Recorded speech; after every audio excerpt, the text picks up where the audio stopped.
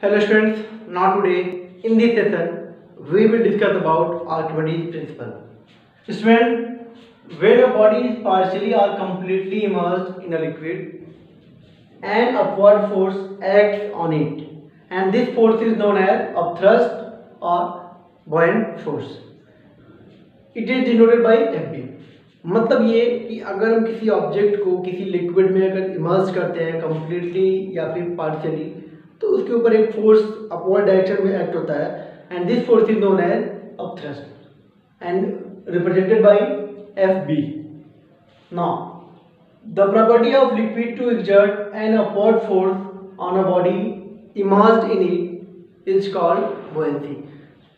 Body का liquid में immerse करना, उसके ऊपर एक फोर्स का काम करना, ये जो प्रॉपर्टी है this is known as buoyancy okay now SI unit of thrust is newton अगर हम बात करें बॉडी को इमर्ज कर रहे हैं, एक अपवर्ड फोर्स उस पर काम कर रहा है तो ये भी एक तरह का क्या फोर्स ही है? So unit of SI unit of thrust is newton okay now अब बात आती है कि इसकी वजह से क्या इफ़ेक्ट पड़ता है उस बॉडी के वेट पे क्या इफ़ेक्ट पड़ने वाला है? Student due to of thrust the object appears to lose weight inside the liquid this loss in weight is numerically equal to the thrust मतलब ये कि अगर किसी बॉडी को हम लिक्विड में इमर्ज करते हैं ड्यू टू अपथ्रस्ट अब अपथ्रस्ट का डायरेक्शन क्या है? ऊपर की तरफ़ होगा opposite to direction of weight तो बॉडी के वेट में क्या होगा? कुछ ना कुछ लॉस होगा, ठीक है? उसको हम अगर बात करेंगे तो वो किसके इक्वल होगा? Loss in weight equals to upthrust मतलब ये कि बॉडी को अगर इमर्ज कर रहे हैं, एक अपथ्रस्ट ऊपर की तरफ़ काम कर रहा है तो उसकी वजह से जो बॉडी के वेट में लॉस होगा, वो एक्चुअली उस अपथ्रस्ट के इक्वल होगा। ठीक है, जितना उस अपथ्रस्ट की वैल्यू होगी, उसके इक्वली उस बॉडी के वेट में क्या होगा लॉस होगा। Okay now the weight of body is the weight of body in the liquid is called apparent weight of the body अब बात कर रहे हैं कि बॉडी अगर इमर्ज किया जा रहा है, उसके ऊपर एक अपथ्रस्ट काम करता है, जिसकी वजह से उसके वेट में लॉस होगा, ठीक है? तो इस कंडीशन में लिक्विड के अंदर बॉडी का जो वेट होगा actually this is known as apparent weight of the body the weight of body in liquid मतलब लिक्विड के अंदर उस बॉडी का जो वेट होगा, वो ट्रू वेट की तरह नहीं होगा, उससे कुछ अलग होगा due to loss in weight क्या होगा?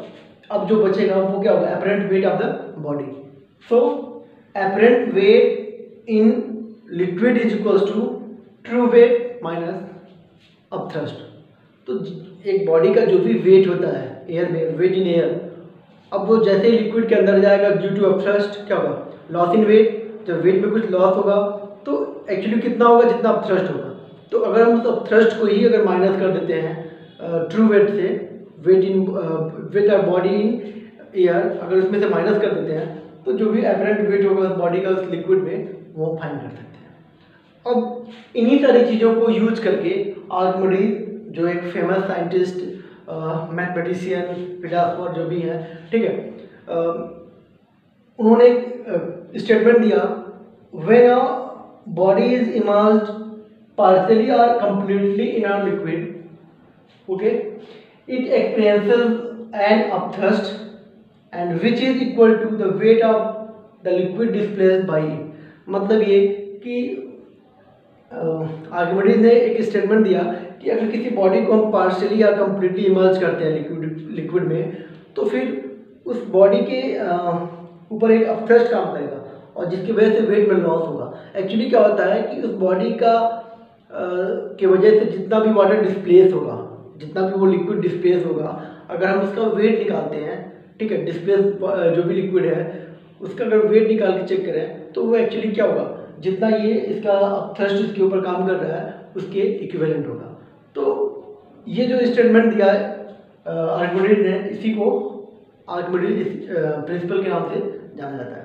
ओके नाउ अब इसकी वजह से हमारे पास कुछ कॉन्सेप्ट आने वाले हैं। एक्चुअली जब भी कोई बॉडी लिक्विड में अगर हम इमर्ज कर रहे हैं तो उस पर उस बॉडी के ऊपर दो तरह के फोर्स एक्ट होंगे। First weight of body okay first weight of body and second of thrust जो वेट का डायरेक्शन होगा, वो नीचे की तरफ़ होगा और अपथ्रस्ट का क्या होगा? Opposite to direction of weight तो हम बॉडी को जैसे ही लिक्विड इमर्ज कर रहे हैं, दो तरह के फोर्स एक्ट होने वाले हैं। एक तो upthrust upthrust in upward direction downward direction की तरफ़ अगर जो भी होगा, वो वेट होगा।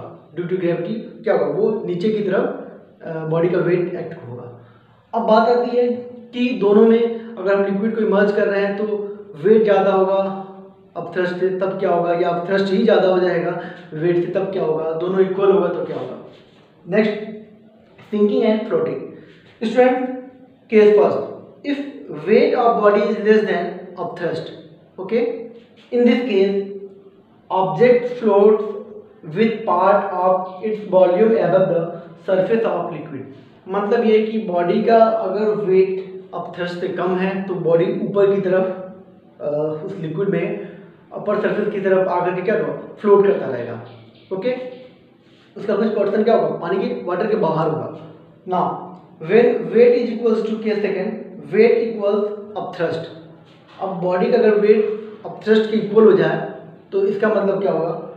Object floats with all its volume just inside the liquid मतलब जो भी अपर सरफेस होगा, उसमें हल्का सा, उसमें बॉडी जो होगा वो उस सरफेस के नीचे ही मतलब बिल्कुल उस लिक्विड में डूबते हुए क्या करेगा?